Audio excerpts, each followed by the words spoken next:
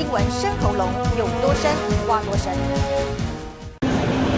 游客顶着大太阳穿长袖大口吃冰，不是为了防晒，而是为了防蚊。我有喷防蚊液啊，呃，也没有到不怕，就是要小心，但不要太担心。上从上个礼拜有稍微降了两成左右。疫情破五百的台南市中西区，人气双麒麟店没开，水果冰店生意少了两成，长长的排队人龙不见了。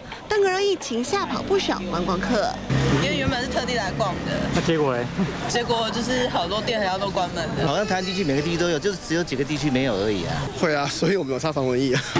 怕自己得了登革热回去传染给我们家人，会吗？会传染吗？人跟人不会。哦，对不起。孔庙老街冷冷清清，很多人都想知道，现在到台南到底还能去哪儿玩？观光局也整理了热门景点懒人包。